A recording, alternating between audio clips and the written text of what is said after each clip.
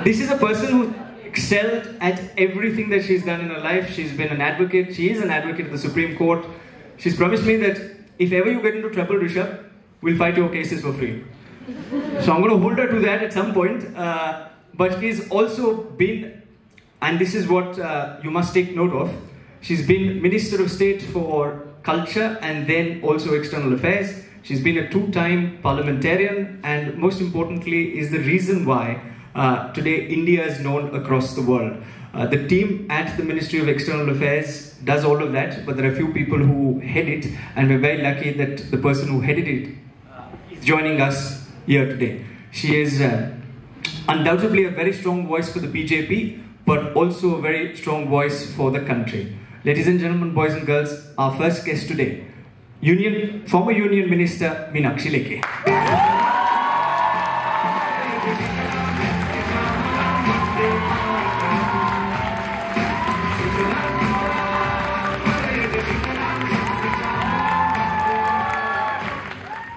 So, uh, how does it feel at the very outset to be back to school?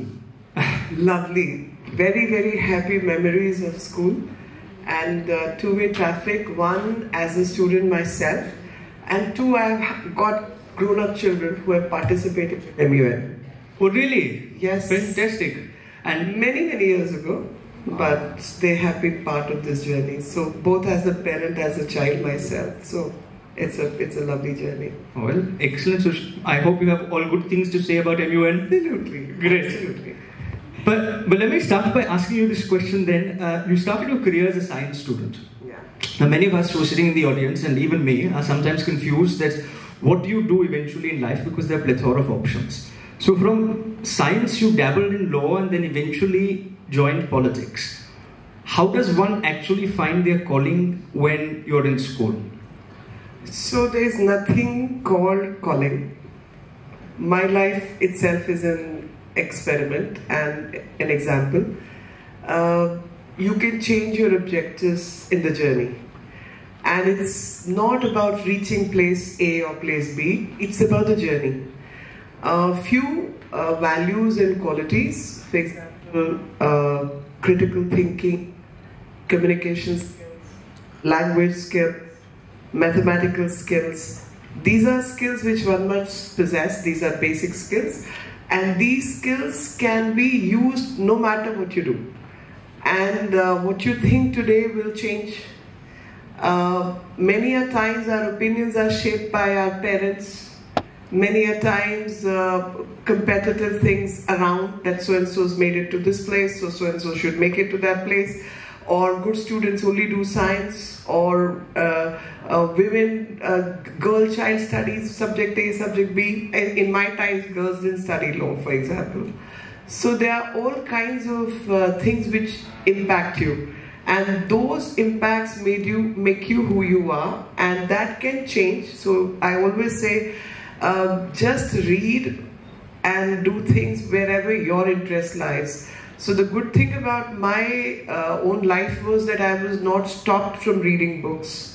I read whatever I wanted to read. In spite of being a science student, I read a lot of books which were not on science subject. I mean, I did score marks and I did have to pass my exams, but in addition to that, libraries, because we did not have internet and everything was not available through Google Baba, so we had to sit in the consultation section and a person like me would even read about Van Gogh.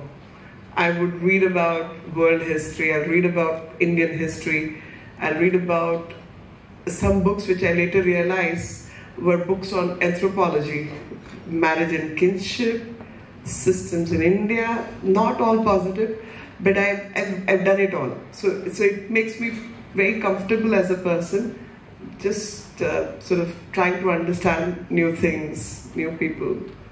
So the message is be a voracious reader.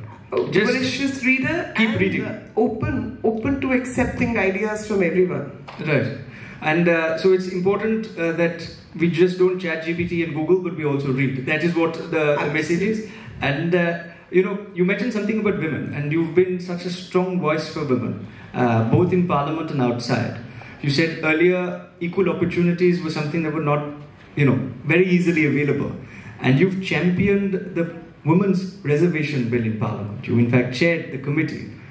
Uh, but there's a school of thought that reservation may not be the best way forward, whether it be in school or whether it be in Parliament.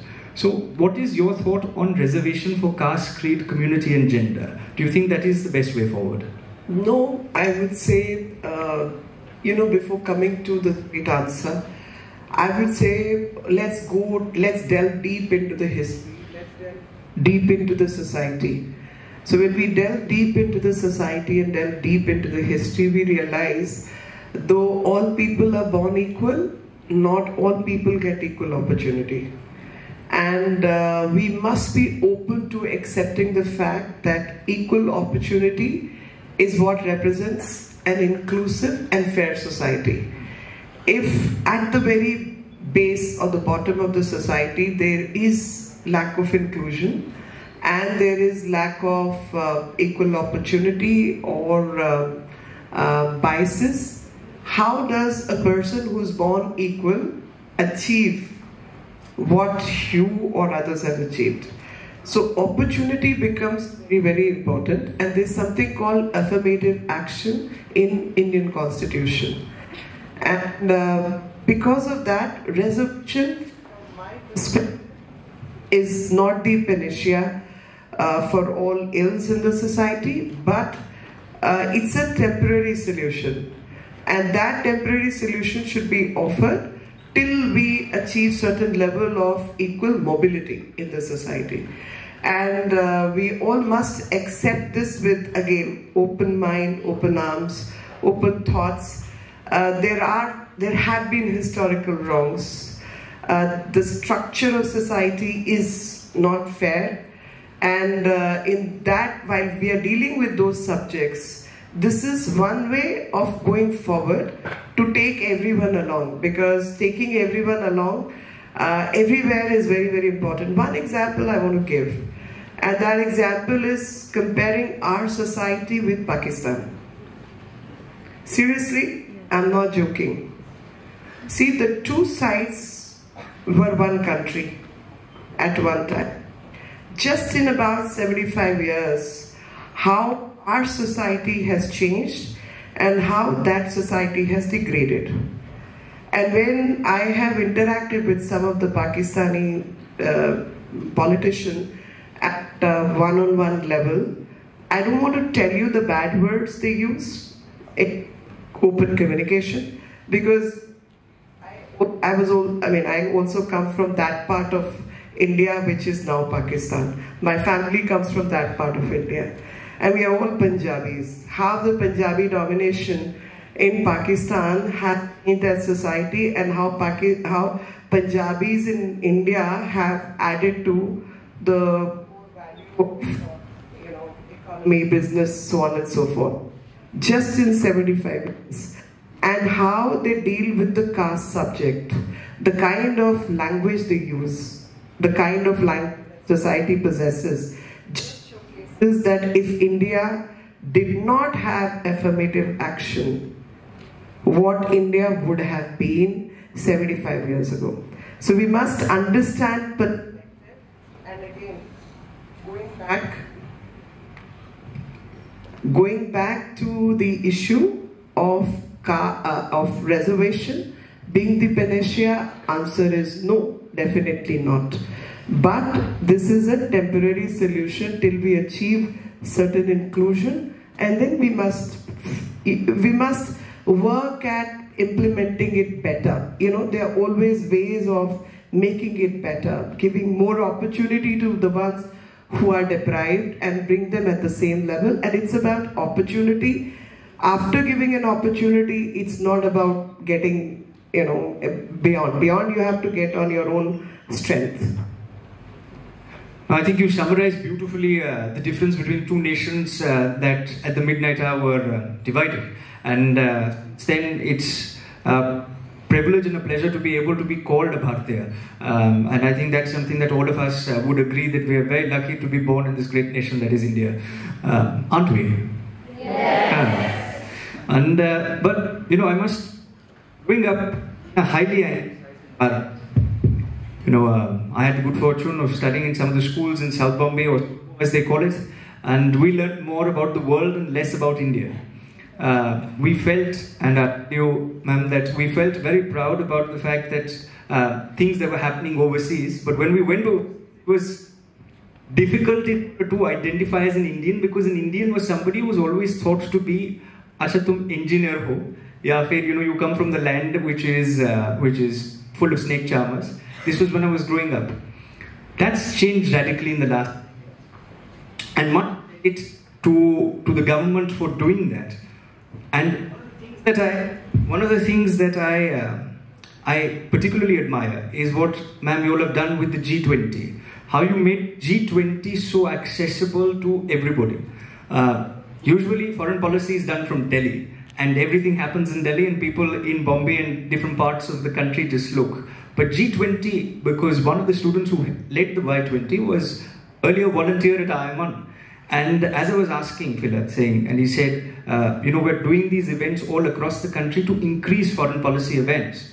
Uh, that was really commendable. But what can, and that's very good, ma'am, at a civil society level. But suppose somebody who's sitting out here who's interested in foreign policy or international relations, how can they contribute to the MEA and the story of India?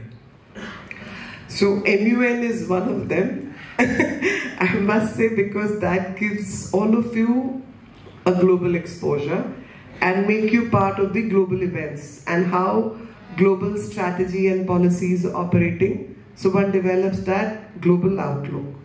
But you all must have your roots and feet fixed in India or Bharat because Bharat is what is going to give you the platform to express yourself, your identity, and take you to the world. And as Rishabh just mentioned, that the perception about India is not a land of snake charmers, not a land of people who uh, are deprived and always seeking uh, the crumbs. No.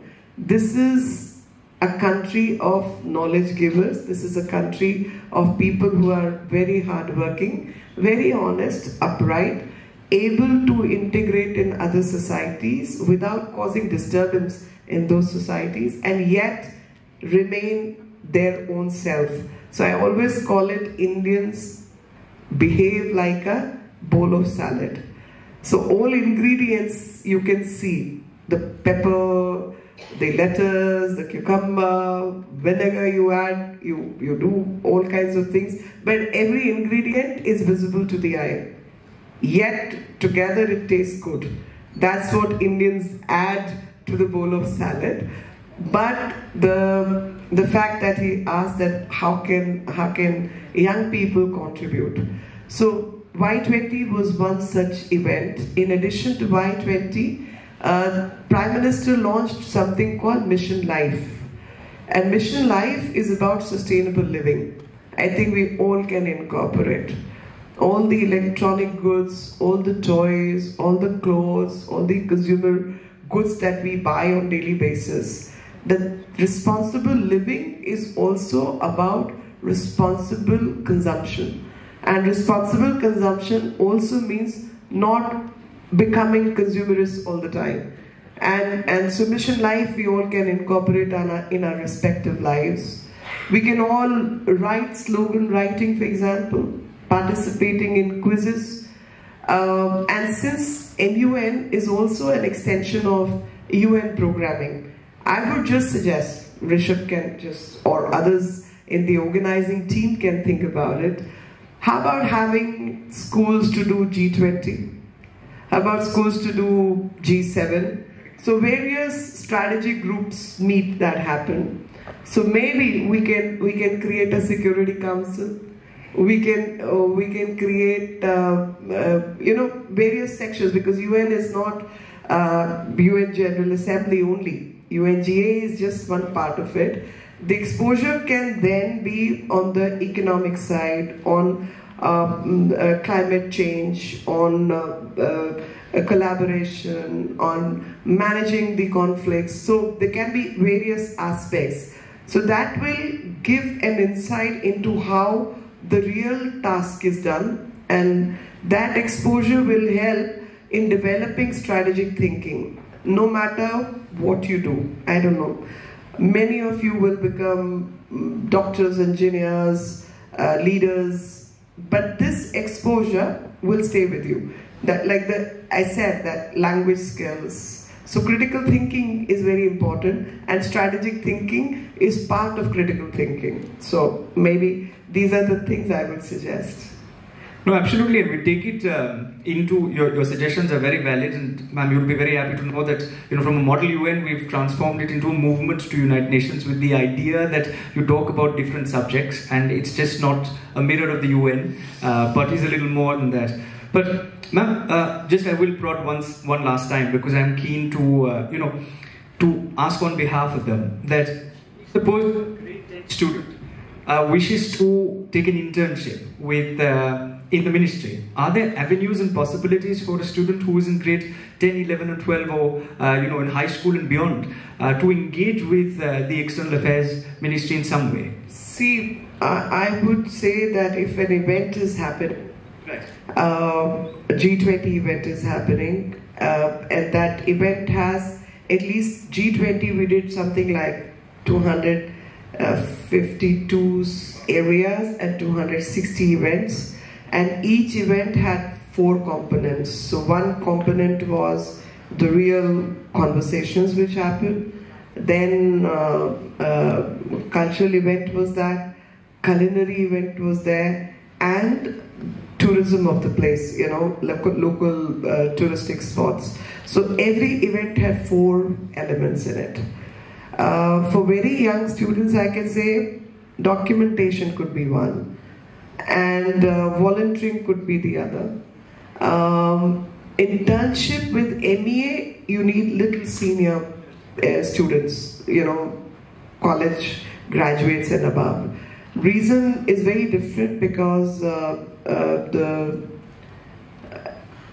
but but with the fun part, I can think that you know tourism, volunteering at the conference, handling uh, a few papers or collecting cards and things. There can be some sort of engagement, involvement, but quiz, etc. You all can participate. Slogan writing, everybody is open, but but the real conversations, that's I mean, it's hard for me to say no, but uh, but there are opportunities when you grow up a little, and all that learning you've done will always stay with you in the process. Of course, and uh, no, I'm just I was curious on behalf of the very over enthusiastic 16 year old Rishabh who was in the audience, saying how can I engage uh, per. But ma'am, you've given many many an avenue, and I appreciate that. And sometimes in school we face this that even in school projects it's difficult to get along with people. Um, I'm sure you've done school projects where uh, you've been paired with people that you don't like, and then you're hoping, saying that uh, I wish I was only paired with my friend. But navigating international relations and the current geopolitical scenario is a bit like that. As minister, sometimes you would have had to work with people that were not necessarily the best of friends to India. How did you solve that Kremlin? How did you, you know, navigate that? And how can we utilize that when we're dealing with somebody in school that we just don't like? Okay, so uh, working anywhere in life is almost like school project. You're always paired with people who don't like you or you don't like them. And that's life. You can ask your parents, you can ask any grown up around you. But you, I think the best way is to learn from your moms. Mostly mothers are the ones who are trying to strike a balance with in-laws, her own parents, work, school, teachers, etc., etc. And, and that striking a balance becomes so important that I constantly go back to my middle school mathematics class. So the mathematics class, you know, we all done sets. Everyone's done sets, right? So you remember those circles? Yeah? So there, there's a set and within that there is a set and there is a set which is outside that set and there is a set which is intersecting. So this intersectionality is what is most important. So you can't stay outside. The best could be you're within the set, that's the best. And that's the easiest. When you're right there, right inside, there's a complete coherence.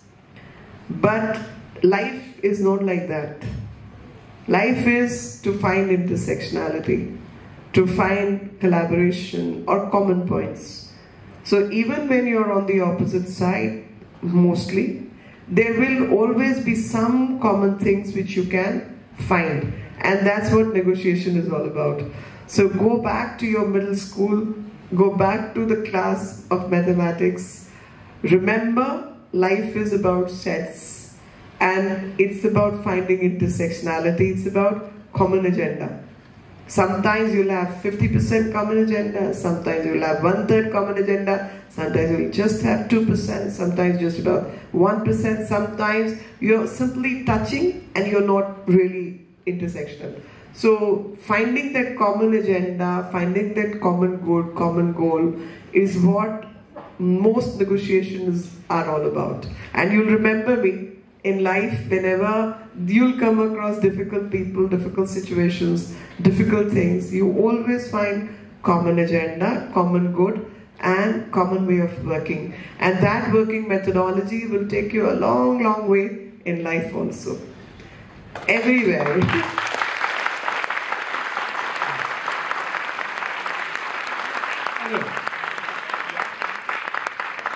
Wonderfully uh, articulated on a jovial note on behalf of the students who don't understand maths. It sets everyone has done and big, and that's why I gave the example of not integration differentiation. Yes, sure. I gave the example of sets because sets all of us have done. Integration differentiation may not have done. no, I really appreciate how you uh, explained that uh, example, and I think that uh, will help us whilst we navigate problems in life uh, and difficult people. Let me take you to an area of interest which once I started IIMUN got exposed to India more and less just to anglicized school of thought, which is the idea of India.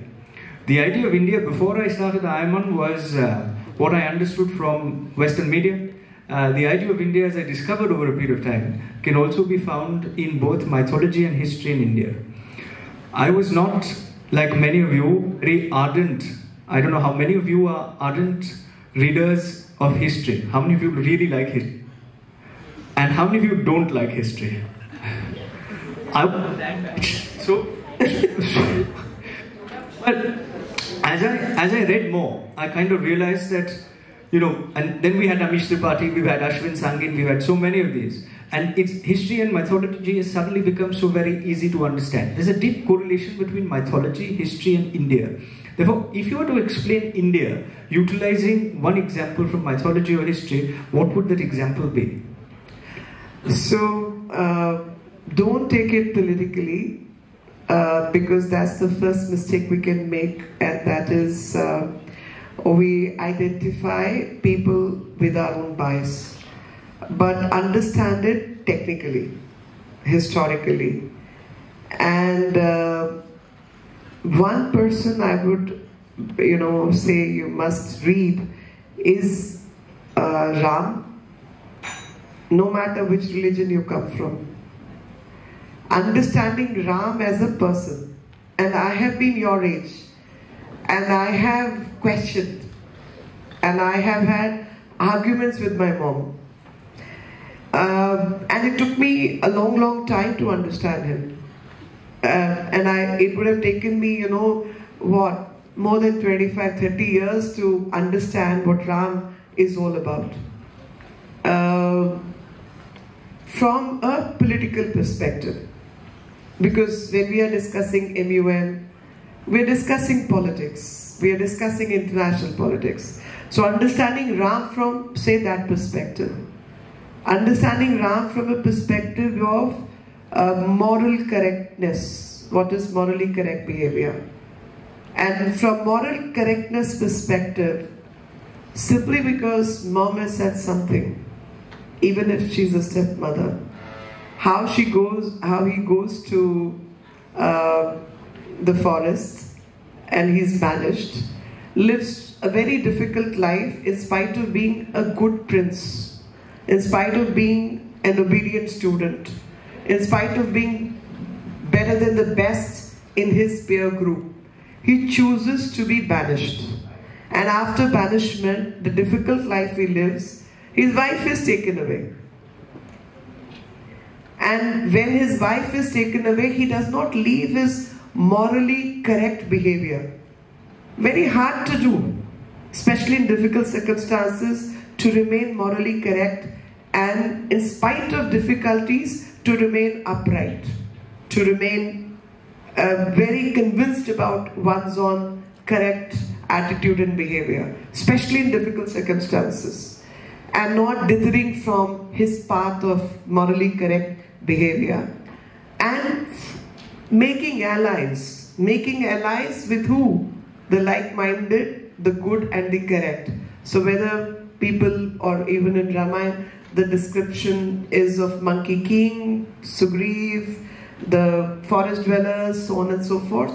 He keeps doing the right thing. The Kevat, Ahilya, uh, uh, Shabari, uh, uh, the, the Vanar Sena, all that is forming allies with people who were not really the well placed people but morally correct people. And he keeps making those allies, fights the battle with Ravan, wins Sita back, and then does what? Establishing Ram Rajya. And Ram Rajya is where king or the ruler's place is above the social people and has to be better than them. So when you are intellectually better because you have to rule over a few million in a country like India, uh, your morally correct behavior is what will make a society more inclusive. So his whole life is about inclusion, uh, marginalized people who he brought them to mainstream, uh, morally correct behavior in spite of personal difficulties. So understanding the banishment of Sita was very difficult for me as a girl child, as a woman. But it took me years to understand that how in politics, it's not about your personal commitment. It's about your perception in public life. And for keeping his perception of being above board and uh, keeping the political aspect still above board and personal aspects separately was such a difficult thing to, to negotiate, to understand. And that's what I understood that he kept himself committed to Sita all his life. He was a king's son whose father had three wives. He himself was a Chakravarti Raja but continued to live with Sita's memory and even did yajna with Sita's statue, a small one, and kept his personal commitment to himself and kept the public perception to other, other people till the public itself corrects their own behavior. So public understood what the wrong behavior was, who Love Kush and what Sita is all about. So I think living by example, reading by example is another way of living life of morally correct and appropriate behavior. And I think when we discuss politics, when we discuss social propriety, when we discuss Ram Rajya, when we talk about inclusion, I think there are so many lessons in Ramayana which is a simplified version of Itihas, of our history. And that Itihas is something we all need to understand because Itihas also gave in Bharatiyas the ability, capability to improvise upon, adding stories, writing in different languages, uh, perception, the, the writer's uh, own uh, imagination, creativity. So I think this was a very creative method of bringing history of India to the forefront.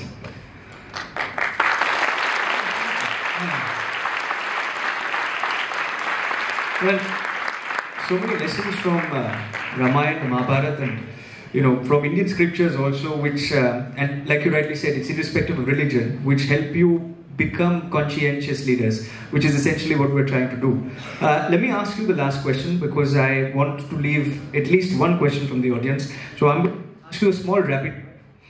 Uh, there's no hamper at the end of that.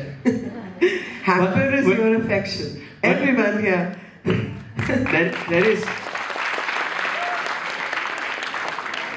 That was the last part was my line, but thank you. but what's the first thought that comes when I say the following words? When I say role model, what's the first thought that comes to your mind? Uh, Sri Krishna. When I say United States of America, Uh, strategic ally. when I say China, Uh, neighbor. Difficult one. Russia, Uh, friend and partner. North Korea, Commercial. uh, uh, commercial uh, friend, a trade trading partner. Commerce and trade. Pakistan, Neighbor, very, very difficult. But I should not say neighbor. I should say that's the place which was erstwhile India. and when I say India, India. India, Ooh, Bharat, my Janbhumi, my Karm Bhumi.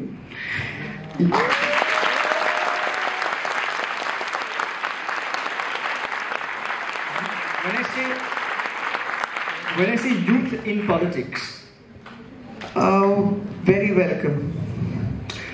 A is incomplete without. Two cups of coffee. Eh, Holiday, what's the first thought? Oh, too many. हज़ारों ख्वाहिशें ऐसी कि हर ख्वाहिश पे दम निकले बहुत निकले मेरे अरमान लेकिन फिर भी कम निकले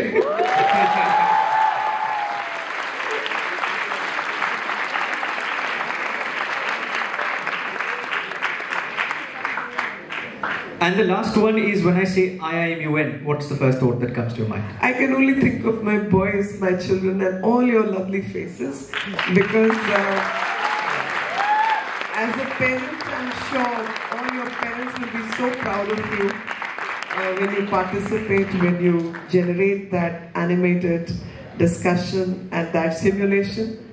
Uh, I don't know, I keep going back as a parent that that mom in me keeps coming up. which is which is hard. These are young men today. They're they're grown up men, but um, I still go back to their school days. Ma'am, you know, this conversation, um, it reminded me of what my grandfather used to keep telling me, saying there's a, he said, Rishabh, a conversation with a knowledgeable person is better than reading a hundred books.